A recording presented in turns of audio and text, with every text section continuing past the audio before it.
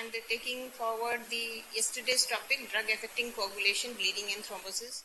Today is the second part of that lecture in continuation. So let's have a quick recap. Uh, we were talking about the antithrombotic drugs and it will include antiplatelet drugs, anticoagulants as well as the fibrinolytic agents. So yesterday we have done the anticoagulants. Today we will be taking care of the fibrinolytic or thrombolytic drugs as well as the antiplatelet drugs. So starting with the fibrinolytic or thrombolytic drugs. The strategies to inhibit or treat arterial thrombosis focuses mainly on the antiplatelet agents. Although in acute settings, they often include anticoagulants and fibrinolytic agents as well. So anticoagulants uh, are the mainstay of prevention and treatment of venous thromboembolism because fibrin is the predominant component here. Fibrinolytic therapy is used in selected patients with venous thromboembolism where, for example, there can be a massive pulmonary embolism. So What are the risk factors for these events? Major risk factors, there can be two types of risk factors. One that can be changed and one that cannot be changed. The risk factors that cannot be changed are hereditary or your own gender or the age of the patient. And major risk factors that can be controlled or changed are the smoking habit of the person, high blood pressure which can be lowered, high cholesterol level which can be prevented or lowered, and stress factor which can be taken care of. And on top of all these, the contributing factors becomes the obesity, lack of exercise and diabetes. So let's talk about the thrombolytic mechanism of action. So how do the thrombolytics act? Plasmin is the endogenous fibrinolytic, uh, fibrinolytic enzyme which is there in our body that degrades the clots by splitting fibrin into fragments. This is the normal physiological response which keeps happening. Minor clots are splitted uh, into fibrin fragments. The plasmin in itself cannot be used because naturally act acting inhibitors in plasma prevents its effect. Because if there is increase in the plasmin, the, the inhibitors would uh, decompose it. So uh, here we comes the action of the fibrinolytic drugs. Fibrinolytic drugs catalyze the conversion of the precursor plasminogen, plasminogen into active plasmin. Uh, what they do is they rapidly lyse or break down the thrombi and some drugs are, uh, there are some drugs which are more clot specific as they only act on fibrin which is bound to plasminogen. This is the picture of the, say, thrombus. Here you can see uh, the different components in play. Tissue plasminogen activator, plasminogen is here, activation into plasmin, degradation, uh, degradation fibrinolysis, fibrin threads are here, plasmin and alpha-2 antiplasmin, these are the inhibitors here, soluble at FTP. Liver uptake here, release of tissue plasminogen activator acts like this or it can act like this, circulate, acting on the circulating plasminogen and tissue plasminogen and plasminogen complex, this activation there is a plasmin formation. So, we will talk about the thrombolytic drugs. They dissolve the blood clots by activating plasminogen which forms a cleaved product called plasmin. So plasminogen is cleaved from the um, plasmin is cleaved from the plasminogen by the thrombolytic drugs and this plasmin is a proteolytic enzyme and this is capable of breaking the cross links between fibrin molecules um, which provide the structural integrity of the blood clot. If the uh, fibrins are not uh, present in the clot, it will not have the strength. So because of these actions, thrombolytic drugs are also called plasminogen activators because they activate the plasminogen and uh, convert it into plasmin or they can also be called as fibrinolytic drugs. So here is a sketchy representation, the process of dissolution of clot which is called a fibrinolysis so plasminogen is acted upon by the tissue plasminogen activator, converts it into plasmin. This tissue plasminogen activator comes from the endothelial cells. This plasmin will act on the fibrin and uh, this fibrin will become active and fibrin degradation product will be formed. So this is the uh, endogenous thrombolytic or fibrinolytic process. Now, where does the drugs come? So here the routine process plasminogen into plasmin and plasmin uh, acts upon the fibrin and then fibrin is converted into fibrin degradation product. So here plasminogen into plasmin activity, whenever this plasminogen is converted into plasmin, the various uh, factors are acting. Tissue plasminogen activator is acting, plasminogen activator inhibitor 1 and 2 is acting, and urokinase, the drug can be acting. Here, uh, plasminogen into plasmin, the factor 11A, factor 12A, and kallikrein are coming into play. Plasmino, plasmin, when it acts on the fibrin, the alpha 2 antiplasmin is active and alpha 2 macroglobulin is active. And this fibrin, uh, thrombin is converted into thrombin activated fibrinolytic inhibitors uh, and this will act on the fibrin. Again, uh, one sketchy representation. These are the drugs, streptokinase, urokinase, alteplase. These are the fibrinolytics. Here, where do they act? Plasminogen is converted into plasmin. This is physiological reaction. Here, they will be acting to prevent this plasminogen conversion into plasmin. And this will be preventing it, this conversion. EACA, tranexamic acid, aprotinin. These are the anti-fibrinolytic. These are the fibrinolytic. That is the fibrinol, fibrin which is formed is getting lysed by these drugs. And these are the drugs which will cause the prevention of these lysis. That means the fibrin will still be there. It will not be fragmented. So coming to the drugs which are thrombolytic in action. So you have streptokinase, urokinase, anistreplase, and then another group is tissue plasminogen activator, which uh, is represented by small t and capital PA. So the drugs here are alteplase, reteplase, tenecteplase. Coming to the first drug, streptokinase, this is the oldest of the lot. It is a protein which is produced by a beta hemolytic streptococci. It does not have its any intrinsic enzymatic activity. So what is the mechanism of action? What it does is it combines with a pro uh, activator plasminogen to form a complex which is called the streptokinase plasminogen complex and this catalyzes the conversion of plasminogen to active plasmin. So this plasminogen uh, this active uh, plasminogen, plasmin will again then work upon the uh, fibrin and there will be rapid lysis of the clot and which is catalyzed by the clotting factors 5 and 7. The half-life of this uh, streptokinase is uh, up to 40 to 80 minutes and uh, the complex streptokinase plasminogen complex is not inhibited by the natural alpha-2 antiplasmin which we saw, saw in the last sketch here alpha-2 antiplasmin. So this will not block the or inhibit the streptokinase plasminogen complex.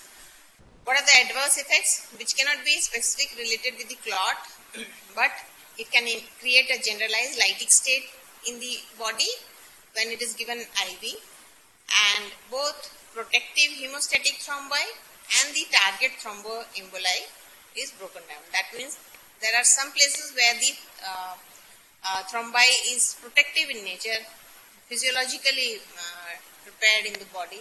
That also will get lysed. So it is not clot specific. Whenever there is a thromboembolic uh, episode, in the body, it will work on that.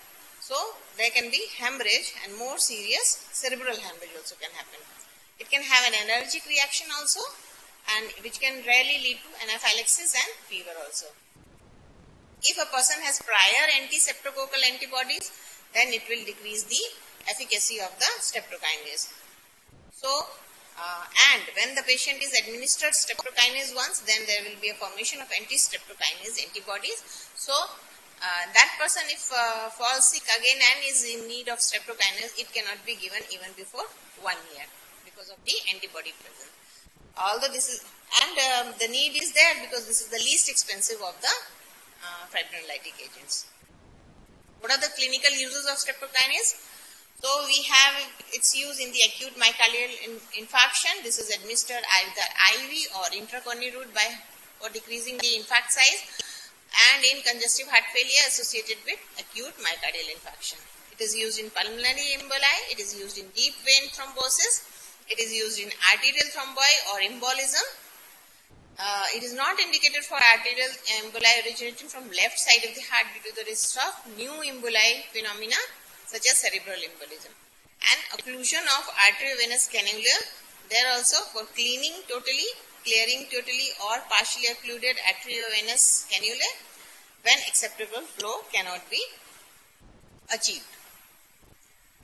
Then comes the anistrep, uh, streplase. Anistreplase is anisoylated plasminogen streptokinase activator complex.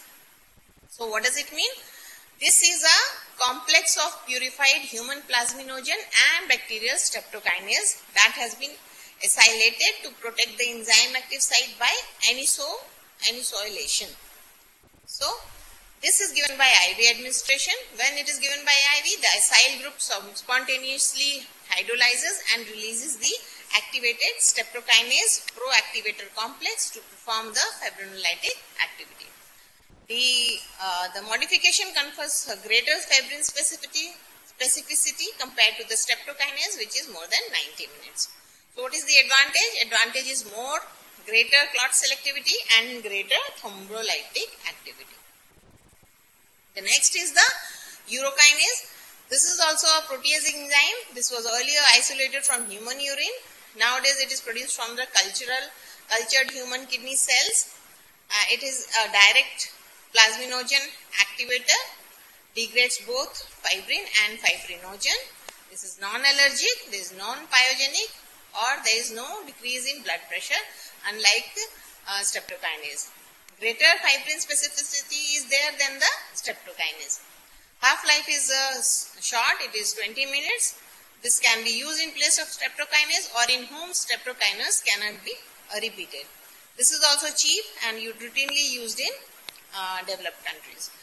There is a recombinant pro-urokinase also available. This gets converted to urokinase on binding to fibrin clot, making it still more uh, fibrin specific, uh, which is in activity almost equal to the alteplase.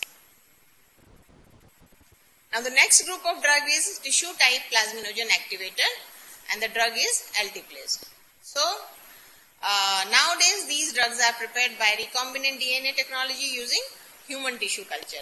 It has a low affinity for circulating free plasminogen. It rapidly activates the plasminogen which is bound to fibrin in the thrombus. It has got greater specificity, hydrolyzes only fibrin and not fibrinogen. This is superior to streptokinase or urokinase in dissolving old clots. So, uh, the half-life is uh, less which is 5 to 10 minutes. That is why there is increased incidences of reocclusion and necessitating the uh, uh, concomitant use of the IV heparin also. What are the side effects? They are the same as the streptokinase and urokinase, but it is not allergenic, and of course, this is uh, expensive. Then the next uh, two drugs are reteplase and tenecteplase. Reteplase is again recombinant tissue plasminogen activator. Local fibrinolysis by binding to fibrin in the clot converts entrapped plasminogen to plasmin. It has got a longer half-life, 15 to 20 minutes. This is also administered as uh, two bolus injections of 10 units each, 30 minutes apart. Tenecteplase is genetically engineered mutant form of alteplase. Mode of action is similar to the uh, alteplase and reteplase. The half-life is considerably longer, which is 2 hours. There is greater fibrin specificity specificity and more resistance to plasminogen activated, in, activated inhibitors 1. This is given in single bolus injection of 50 milligram over 5 seconds unlike reteplase which is given in 2 bolus injections of 10 units each 30 minutes apart. Side effects are same as alteplase and this is also expensive. Then we are talking about till now fibrinolytic drugs. Now has the anti-fibrinolytic drugs. Whenever the action of the fibrinolysis exceeds the limit which we do not want, then we need something which will be there to counter it. So we have aminocaproic uh, caproic acid, tranexamic acid and aprotinin as antifibrinolytic drugs. The epsilon aminocaproic acid is a lysine analog. How does it act? It acts by combining with lysine binding site of plasminogen and plasmin and prevents the binding of these to fibrin and uh, so it prevents its lysis. Specific, this is the specific antidote to fibrinolytic agent. What is the dose? Dose is the initial priming dose of 5 milligram orally or IV and then 1 milligram hourly till bleeding stops. Maximum 30 grams can be given in 24 hours.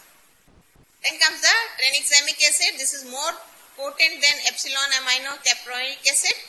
These are used as fibrinolytic drugs in bypass surgeries, in menorrhagia patients in case of recurrent epistaxis, tonsillectomy or tooth extraction in hemophiliacs.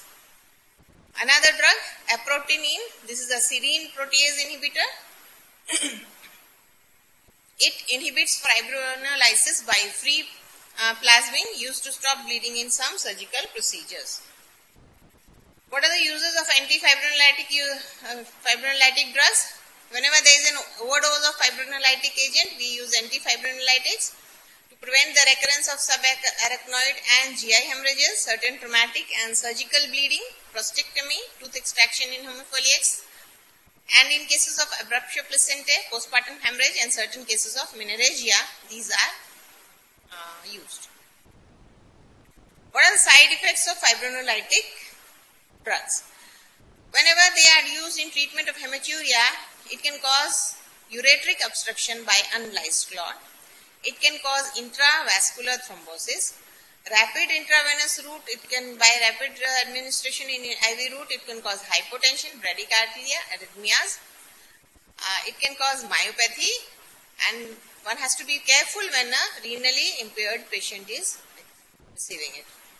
So these are the sketchy representation, antiplatelet agents, activation, activation of clotting factors, anticoagulants are acting, fibrin and thrombus, antifibrinolytic agents, fibrinolytic agents, there has to be a balance, conversion of plasminogen to plasmin, vascular endothelium. So this is the picture from the book. So what are the contraindications of thrombolytic therapy? There are certain absolute contraindications and some are relative contraindications. In absolute contraindication, it includes recent head trauma or cranial tumor. It, there has to be a uh, contraindication is there in the previous hemorrhagic shock. The, if there is a stroke or cerebrovascular event which is uh, one year old, if there is an active internal bleeding, if there is a major surgery within two weeks because it will lyse all the clots. So if the surgery is there and some uh, clotting is there, healing is going on, that uh, also will be lysed by the uh, fibrinolytic. So it is contraindicated. In the relative contraindication, it will include active peptic ulcer, diabetic retinopathy, pregnancy and uncontrolled hypertension. This finishes with the fibrinolytic and antifibrinolytic drugs. We have antiplatelet drugs now. So again we will talk about hemostasis, the normal physiological response which prevents significant blood loss after vascular injury. What will clot formation involve? It will involve the vasoconstriction, it will involve the platelet plug formation and it will involve the coagulation. So once the vessel heals primarily, when the vessel heals the primary fibrinolysis is triggered and clot formation process are inhibited. In the anti-platelet drugs, platelets provide the Initial hemostatic uh, plug at site of vascular injury. Inhibition of platelet function is a useful prophylactic and therapeutic strategy against myocardial infarction and stroke caused by thrombosis. So here you can see this is a picture from the Lippincott textbook. So here the uh, resting lining of the uh, vessel is uh, in, breached and collagen fibers are exposed these are the resting platelets. They come in. Activated platelets cover the and adhere to exposed and surface of damaged endothelium. Then what happens? Here, Activated platelets release chemical mediators. What are these chemical mediators? They are thromboxane A2, ADP, serotonin and platelet activating factor. So, what will happen after that?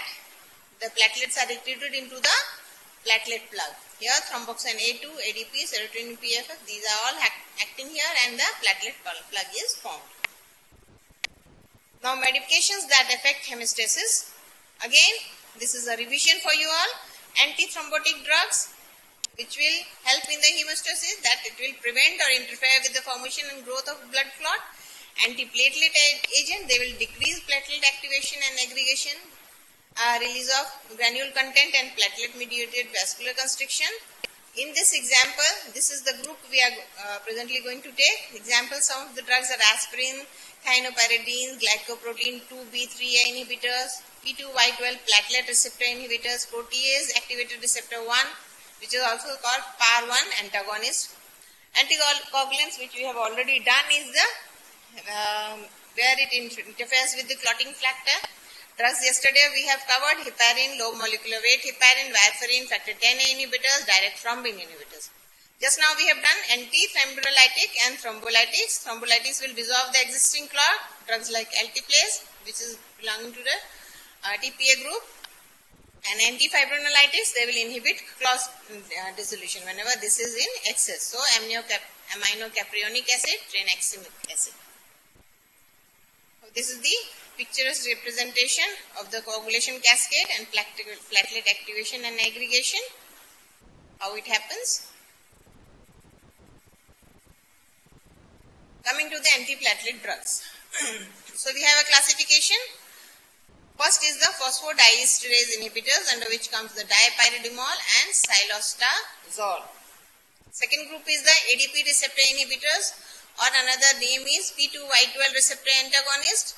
These are the thienopyridine derivatives.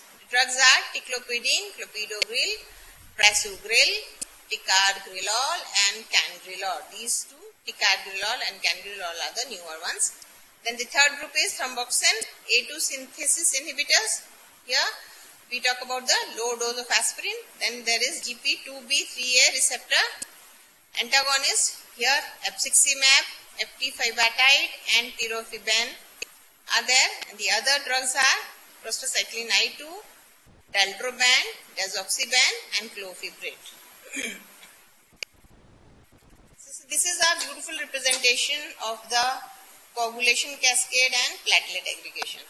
So these are the vitamin K dependent clotting factors 9, 7, 10 and here protein C and protein S, active C, they all and 2. What they do is 2 with the help of all these gets converted into 2A which is thrombin. And here heparin will act, act here at the antithromboplastin 3 10A, here active C will act at the 5 is uh, clotting factor converted into active 5. In platelet aggregation, there are two places of aggregation, arterial clotting which is primarily of platelets and venous clotting which is primarily of the fibrin. So what happens here? Release of intracellular calcium in platelets, GP2B 3A calcium dependent complex gets activated fibrinogen is attached and fibrinogen mediated platelet aggregation occurs. And here 2A thrombin gets attached, soluble fibrin clot formation is there and then insoluble fibrin clot formation will be there which will again be acted upon by the endogenous antifibrinolytic agents and soluble fibrin clot formation will be there so that the patency of the vessels are continued. Again, this is a uh, diagram. In the platelet, what happens? In the arachidonic acid, COX uh, activates cyclic endoperoxidase, thromboxane synthase, acid thromboxane A2. Here it stimulates the adenyl cyclase and adenyl cyclase will decrease the cyclic AMP and this decrease of cyclic AMP promotes the adhesion of platelets.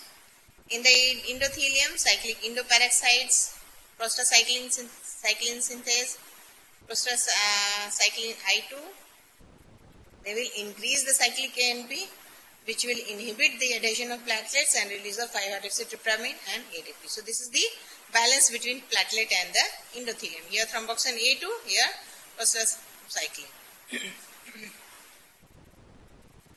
so again a recap of the drugs with the mechanism of action in their name only platelet phosphodiesterase inhibitors that means the drug this group of drug will inhibit the phosphodiesterase enzyme platelet ADP receptor inhibitor or P2Y12 receptor antagonist that that means they will be uh, antagonizing or blocking this receptor from platelet thromboxane A2 synthesis inhibitor that is they will inhibit the synthesis of platelet thromboxane A2 then platelet thromboxane A2 prostaglandin receptor that is platelet platelet thromboxane A2 prostaglandin receptor inhibitor or antagonist then you have platelet glycoprotein 2B3A receptor inhibitor or antagonist and then you have platelet thrombin protease activated receptor 1 which is also called PAR1 antagonist. so coming to the first platelet phosphodiesterase inhibitors, cyclic AMP inhibitors, what they do is uh, here two drugs are there dipyridamole and cilostazol.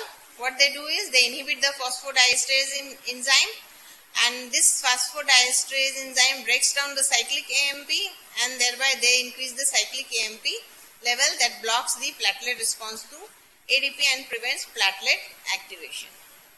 So, dipyridamole, this blocks the thromboxane synthase.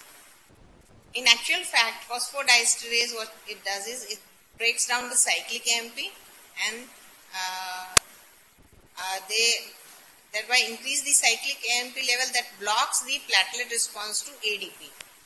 So the platelet is going to respond to the ADP. So this uh, is decreased and the platelet activation is prevented.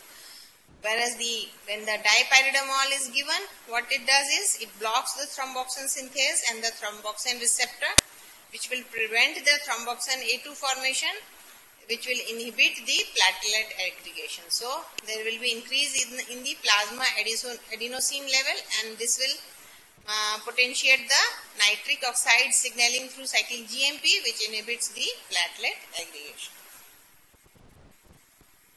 What are the common indications? Indications in prevention of stroke, in stroke, intermittent claudication, evaluation of coronary artery disease. Here pyridamole is preferred this is given by oral or IV. Dipyridamole along with aspirin can be given orally and cilostazol is given also by oral route. So dipyridamole and aspirin, they are coming in form of extended release forms of dipyridamole with low dose of aspirin. They are mainly used in secondary prevention of stroke. Common side effect is headache. When dipyridamole is given IV, immediate release oral, IV formulation will dilate coronary arteries for stress testing and immediate release uh, per oral form is rarely used. Cilostazol, mostly used for peripheral artery disease and claudication, may be alternately used for acetyl salicylic acid or clopidogrel if allergic to it or intolerances exist and dual antiplatelet therapy is necessary. Then comes the next group which is called ADP receptor inhibitor or P2Y12 receptor antagonist. What they do is P2Y12 receptor antagonist, they block the binding of ADP, uh, adenosine diphosphate to the platelet receptor P2Y12. Uh, this will inhibit the activation of the GP12B3A complex uh, so, uh, and binding to the receptor will be blocked and so changing in uh, conformation of the receptor will be blocked. So, all this will block the platelet activation and aggregation. So, what happens is within seconds of vascular injury, there is exposure of the collagen of underlying connective tissue and what happens then is there is activation of the dormant lying glycoprotein integrin receptor on the platelets GP6 this will trigger the release of the ADP and 5-hydroxytryptamine along with the calcium and fibrin stabilizing factor. All this will lead to 5-hydroxytryptamine will lead to vasoconstriction, decrease in blood flow to injured vessels. ADP will activate ADP receptors uh, which are both P2Y1 and P2Y12 on platelets and this will induce the shape change and aggregation P2Y effect and that to increase their adhesiveness which is P2Y12 effect. When we are using ADP receptor inhibitors or another name P2Y12 receptor antagonist, the drugs, all three drugs uh, are thienopyridine derivatives. What they do is they are irreversible blockers of conversion of ADP to ADP P2Y12 receptors. This receptor is irreversibly blocked. When this receptor is blocked, the ADP induced platelet aggregation will not occur and when ADP induced platelet aggregation will not occur, then concentration change in platelet membrane will not be there, expression of functional tube B3 integrin receptor will not be there. So this is the picture. Here there is wall defect. This is the G, uh, GP2B3A, ADP, thromboxane A2, 5-hydroxytryptamine. These are being released. Platelets, they get recruited here and this is the prostacyclin. This is the anti to this Then what are the common indications of this group of drug?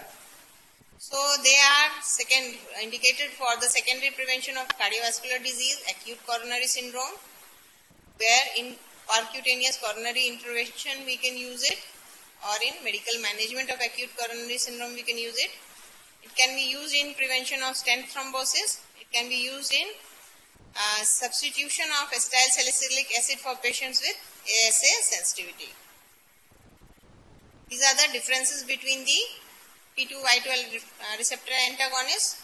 So clopidogrel and prasugrel they and ticagrelor they are all uh, these two drugs clopidogrel uh, prasugrel they are prodrugs whereas ticagrelor and cangrelor is uh, not a product. The route of administration, most all the three are given by oral, whereas the cangrelor is given by IV route. Binding of the um, uh, clopidogrel and prasugrel is irreversible, whereas ticagrelor and cangrelor is reversible. For onset of action, other than cangrelor, all has to be given by loading dose, whereas cangrelor acts within 2 minutes of infusion. Duration of action is longest for the uh, cap, uh, clopidogrel and prasugrel whereas cangrelor is the shortest return of platelet function within 1 hour after discontinuation of the infusion. Dosing frequency for uh, clopidogrel and prasugrel is daily, ticagrelor is twice daily and cangrelor since it is a short acting 2 minutes, uh, so it is continuous infusion is needed. Uh, and dual uh, acetyl salicylic acid therapy can be done with clopidogrel, prasugrel and ticagrelor but not with cangrelor.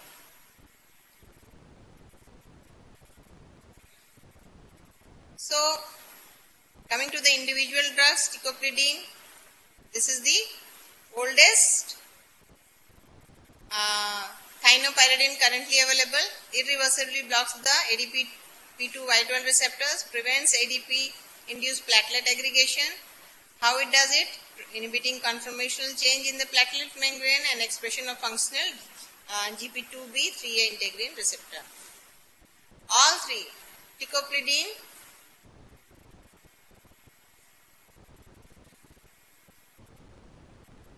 Clopidogrel and prasugrel are prodrugs as we have just discussed. They are converted to active metabolite by CYP3A45, CYP2C19 and CYP2B6 enzyme in the liver. They are approved for the secondary prevention of thrombolytic strokes in patients intolerant of aspirin and for prevention of stent thrombosis in combination with aspirin. All those drugs which inhibit ADP binding to its receptor will be inhibiting the platelet aggregation. So drugs, I have already told you, ticagrelor and cangrelor are the new additions. These are not the prodrugs. They are direct reversible uh, inhibition of P2Y12 ADP receptors, rapid onset of action and potent then clopidogrel and prasugrel. Coming to the ticlopidine versus clopidogrel debate, Ticlopidine has got adverse effects of diarrhea, vomiting, abdominal pain, headache, tinnitus, skin rash, bleeding, neutropenia, thrombocytopenia. Clopidogrel has got adverse effects, most important of which is the bleeding. Less important is the bone marrow toxicity, diarrhea, epigastric pain, rashes. Next comes the next group is the platelet thromboxane A2 synthesis inhibitor, which is aspirin. So aspirin in low dose causes inhibition of the platelet thromboxane A2. So aspirin will be blocking the pro production of thromboxane A2 by how it will do it? Acetylating a serine residue near the active site of platelet cyclooxygenase 1. So complete inactivation of the platelet cyclooxygenase 1 is achieved with a daily aspirin dose of as low as 75 milligram. Maximal effective dose for antiplatelet activity is going to be 50 milligram to 320 milligram per day. If we can be tempted to increase the dose for getting the antiplatelet activity faster and more. So higher the dose, more efficacy? No. At high dose, 1 gram per day, it also inhibits the COX-2, which is responsible for the synthesis of prostacyclin. And prostacyclin is a potent inhibitor of platelet aggregation. So if you give higher dose, it will be blocking the uh, synthesis of prostacyclin. That will be detrimental. So higher doses are potentially less efficacious and also increase toxicity, especially bleeding. As I, as I said, thromboxane irreversibly inhibits COX-1, therefore inhibit the synthesis of thromboxane A2. Because platelets do not uh, contain DNA or RNA, they cannot synthesize new COX-1, so the inhibition is irreversible and effective for life of the circulating platelet, which is 7 to 10 days. Here, thromboxane A2, irreversible inhibition, prostaglandin, H2, aspirin. So these are inhibited, cyclooxygenase inhibition. What is the bioavailability of the drug? It is 50 to 75 percent. Cmax is the 30 to 60 minutes. Half-life of the parent drug is 15 to 20 minutes. Salicylate is 3 to 10 hours. Normal hemostasis returns in 4 to 7 days after the uh, new platelets are uh, manufactured. Optimal dose is more than 75 milligram or less than 325 milligram. These are the drug, uh, pictures which you can understand the action.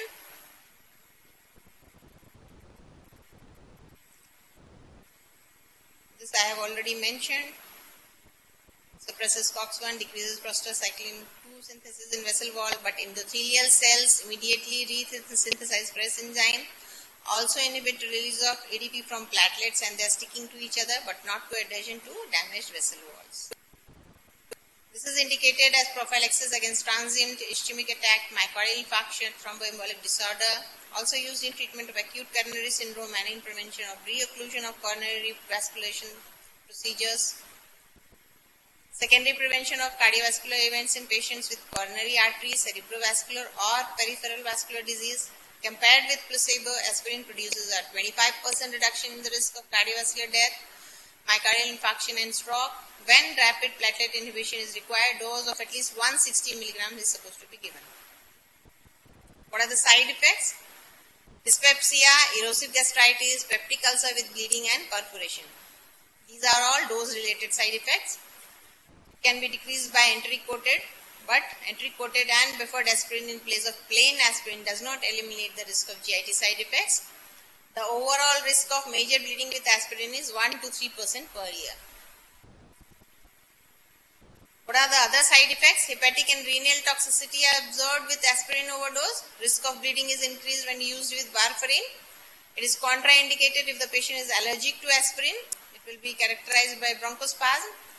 If a person is aspirin resistant, this will lead to treatment failure and higher rates of death, myocardial infarction, stroke.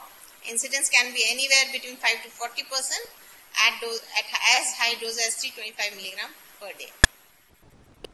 Then the next group is platelet thromboxane A2, uh, prostaglandin receptor inhibitor antagonist, which is also called TP receptor inhibitor. So receptors for thromboxane A2 is uh, present at the platelets, at the vascular smooth muscle cells and the endothelial cells. Uh, where at the platelets, the activation of the uh, thromboxane A2 prostaglandin receptor will cause increase in the platelet aggregation. On vascular smooth muscle cell, it will cause vasoconstriction. On endothelial cells, it will promote the atherosclerosis. So when we are using this TP receptor inhibitors, uh, what will happen? One of the drugs is terutroban. So they have the selective antagonist of TP receptor located at all three sites. So they have triple activity, they are antiplatelet, they are vasodilating and they have anti-atherosclerotic activity. This makes them an innovative and a unique potential. But the clinical development was stopped with, because it was not found to be superior or non-inferior when compared with aspirin for prevention of ischemic stroke or cardiovascular events. Next group is the platelet glycoprotein 2B3A receptor inhibitors antagonist. The drug is abciximab. This is the FAB fragment, antigen binding fragment of chimeric monoclonal antibody against GP2B3A. This inhibits the fibrinogen cross linking of platelets, so final common pathway of uh, which is the form, final common pathway of platelet aggregation. This also binds to the alpha 2b uh, 2b B3 receptor for Willebrand uh, factor present on platelets. So VWF also anchors platelets to each other, uh, fibrinogen. So plasma half-life is 30 minutes. Half-life is short, but uh, yet platelet aggregation remains inhibited for 24 hours. Drug remains bound to alpha 2b uh, 2b b3 receptor for a long time this is the diagrammatic representation this is the receptor and the drugs are abciximab eptifibatide and tirofiban they are blocking the gp2b3a receptor of platelets Abciximab continued. This is administered along with the aspirin and heparin or low molecular weight heparin to prevent platelet aggregation in patients. During percutaneous angioplasty, they effectively prevent reocclusion, recurrent MI and mortality. Initially administered in bolus injection which is followed by a slow IV infusion. Major adverse effects is bleeding, they may cause thrombocytopenia and constipation. The incidence could be 2% but reversible. They also cause hypotension, bradycardia. They are non-antigen. The next drug is eptifibatide. These are cyclic peptide inhibitors of fibrinogen binding sites on GP2B3A receptor on platelets, light abciximab. They are also given bolus injection followed by slow IV similar to abciximab except does not bind to 3B, B3 receptor of VWF. Side effects are bleeding. Then third drug is the tirofiban which is same as the eptifibatide. Then the last group is the platelet thrombin protease activated receptor 1 which is also called PAR1 antagonist. So here thrombin which is a protease facilitates the pathological thrombosis by uh, converting fibrinogen to fibrin. It stimulates factor 13, fibrin stabilizing factor to stabilize fibrin and activates two thrombin receptors, PAR1, PAR4, uh, which is expressed on the platelet membrane and uh, which makes it the thrombin binding to these receptors result in enhancement of platelet aggregation. So when these antagonists, PAR1 antagonists are used, what happens? The drug is vorapaxar they will be reversible antagonist of PAR1, one of the two major PARs on platelet, PAR1 and PAR4. So the drug is reversible antagonist of PAR1. Does not inhibit platelet aggregation induced by ADP, thromboxane A2 or collagen nor affects coagulation cascade. This was approved in 2014 for secondary prevention of myocardial infarction in those with peripheral arterial disease. This is administered orally 0.5 milligram as vorapaxar sulfate. This contains the active drug as 2.08 milligram. It's given orally, completely absorbed. It is uh, increasingly protein bound, almost 99% metabolized by CYP3A4 enzyme. It should be avoided in patients with CYP3A4 inhibitors because it increases the risk of bleeding, especially when given with other antiplatelet drug, or it should be avoided in uh, on uh, those uh, drugs which are inducers which will cause decrease in the drug effect due to increased metabolism and in patients of hepatic impairment because it will decrease the metabolism of the uh, drug and greater risk to bleeding. The half-life is very long, 5 to 13 days. This is contraindicated in patients with history of stroke, transient ischemic attack or intracranial hemorrhage. what are the therapeutic uses of antiplatelet drug? They are used in myocardial infarction, unstable angina, coronary bypass graft implant, prosthetic heart valve and arteriovenous shunts, venous thromboembolism and peripheral vascular disease, cerebrovascular transient ischemic attack. This is the diagram showing all the effects. I have taken the references from these books.